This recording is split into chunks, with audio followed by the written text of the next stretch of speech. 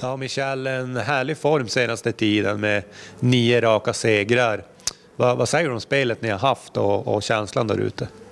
Men, eh, framförallt vi har vi har haft det kul. Eh, jag tror det syns där ute. Eh, vi, vi trivs väldigt bra nu på det sättet vi spelar och litar på varandra och, försöker göra det lite bättre varje match. Jag tror det är nyckeln fram eh, än för slutspelet.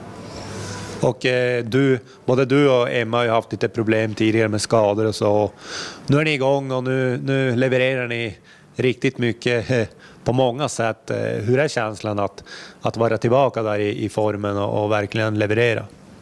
Mm, det är ju klart, man har ju eh, sitter och kollar en del matcher den här säsongen och laddat med en massa energi och egentligen gärna ville vara på isen och, och kunna hjälpa till. Eh, det är väldigt frustrerande så det är kul nu när man kommer tillbaka att, eh, att ja, men jag tror Emma har samma känsla, vi verkligen kan ge något till laget. Och såklart att jag får vara tillbaka tillsammans med Emma, det är ju, ja, men det är ju jag spelar med henne från dag ett här i Luleå Hockey och Eh, min framgång har ju lika mycket att göra med henne. Nu väntar i Göteborg två gånger. Eh, vad blir största utmaningen med det? Det är ju toppen mot botten och kanske många tror att vi kommer att ta det där lätt. Eh, så vad är utmaningen med det? Nej, men det, det är ett äh, lag som, som jobbar hårt hela matchen. Eh, vi såg det sist vi spelade mot dem.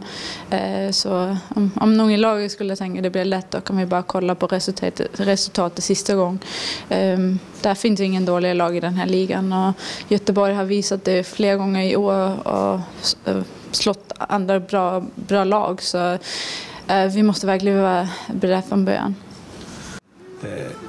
Ni har fått tillbaka en gammal spelare, eh, Omberg. Hur känns det att ta tillbaka henne? Nej, det känns fantastiskt kul. Hon är en eh, väldigt, väldigt bra målvakt och har bevisat det tidigare i Luleå Hockey. Men eh, också en fantastisk lagkompis som eh, eh, sprider väldigt mycket energi till alla. Så eh, otroligt kul att hon är tillbaka.